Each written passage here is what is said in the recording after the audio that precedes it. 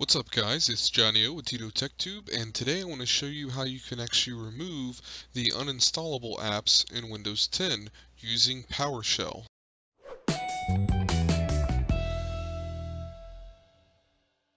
So if you've used Windows 10 for any amount of time yet, you've probably already seen that there's some of these apps in here that are by the Microsoft Corporation that come pre-installed on a fresh load of Windows 10 that you cannot uninstall. So like Groove Music, uninstall is grayed out. Maps, grayed out. Messaging, grayed out. So on and so forth. There are several apps like this out of box. Uh, so how do you get rid of them if you don't want them on your machine? Well, you use PowerShell. So first thing you're going to do is you're going to open PowerShell. So you just type in PowerShell. Before you even finish the word, it'll auto-populate. Uh, so I'm using the ISE because that allows me to save it as a script that can be run later on as a PowerShell script. Um, you can just type in the commands individually in PowerShell, but I recommend creating the script because then, say you buy a new machine, you want to do this again, you have the script already saved, just throw it on a flash drive, or you have multiple machines in your house. So like I have my desktop, my wife's desktop, her laptop. I can easily just write the script, run it on my machine, and then subsequently run it on the other machines as well, save myself a little bit of time.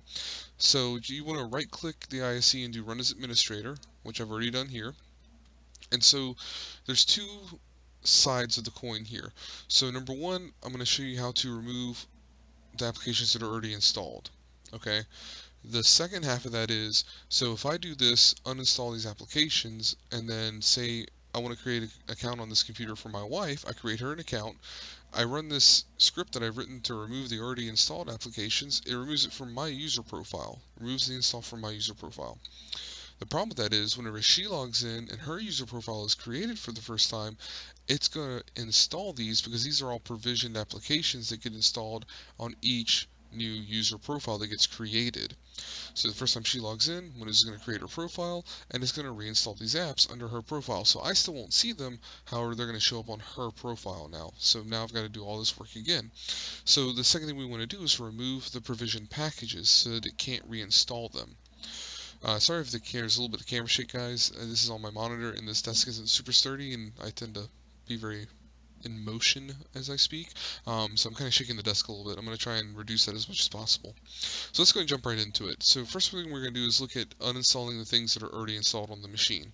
So we're going to use a command here, git appx package, and we're going to put in the parameter the switch here, all users. So this will go and get the Appx package for all users.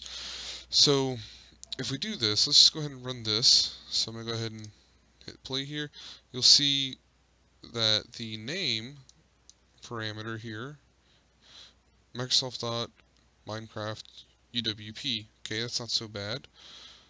Microsoft.Xbox app. But as you scroll through these, some of these are going to get kind of convoluted, and you're not necessarily going to know exactly how to do all of these to get them uninstalled. By the way, I have this really zoomed in, so hopefully you guys can see it really well. Um, but yeah, so if we zoom in little, or scroll up a little bit higher up here, we should see some that have a little bit more convoluted name, like Microsoft.NET.Native.Runtime.1.3. That's not something you necessarily want to get rid of, but there's other things in here named like that. So the point is, to make it easier on ourselves, what we're going to do is what's called in PowerShell piping. So if you do Shift and then the um, forward slash key, you should get this uh, pipe right here on the screen, this guy right here. Uh, so we're going to pipe that into a where object. So this is essentially going to do um, a SQL query, uh, basically, but this is going to do a query on all this data here, and in curly braces, oops, curly braces, we're going to do dollar underscore. Basically what dollar underscore does is it's going to say, okay, all these results that I've just got are going to be loaded into an array and dollar underscore is going to tell PowerShell that I want to step through this array, and in each instance of uh, these objects in this array, I want to look for the name. So I'm going to do dollar underscore dot name, and then do another, uh, do a hyphen or attack as it's called. Uh, so the switch we're going to put in here is like, so it's going to say anything that looks like, basically, uh, and then I'm going to do a single quote, an asterisk, and let's start with maps. Let's say we want to get rid of the maps app, right? So now this is telling PowerShell I want to get the AppX package for all users where the object name is like maps. Okay? So let's go ahead, let's do a, go down here. So CLS will clear our screen to clean it up a little bit, and we're going to do a run, and you see we get Windows Maps, Windows Maps. So I have it for two users that it shows up for. Alright, so how do we get rid of it now? We're going to do another pipe. So shift forward slash space, and what we're going to do here is do a remove dot appx package on all users. So now, if I, I keep pressing enter there, so now if I press the play button here and run that, what should happen is I should no longer be able to go down here and find maps. And you'll see, if I go down to M, maps is now gone. And if I go over here, you'll see Maps is now gone from the apps and features list. So this has uninstalled the Maps app from my user profile. So the reason why we want to do this as a script, I'm going to be lazy because I'm a developer, and I'm going to copy and paste, and we're going to replace maps with uh, message, or is it message? Was it messenger or messaging? Messaging. So we're going to replace that with messaging. And we're going to replace this with Groove. So we'll just stick with these three apps just to keep it simple, and you can keep doing this as many times as you want. Alright, so sorry about that guys, I ran into a little bit of an issue. Uh, first issue I had was, when I ran the second time, I still had maps in here trying to be removed, and it errored out because uh, maps couldn't be removed since it was already removed once, uh, so it caused an issue. Uh, the second one looked like it failed because of the first one, and the third one failed because for some reason when I searched Groove, um, it didn't find it by Groove, but it did find it by music, and it is now removed. Messaging, uh, scroll down. Messaging, maps, and Groove music are all gone.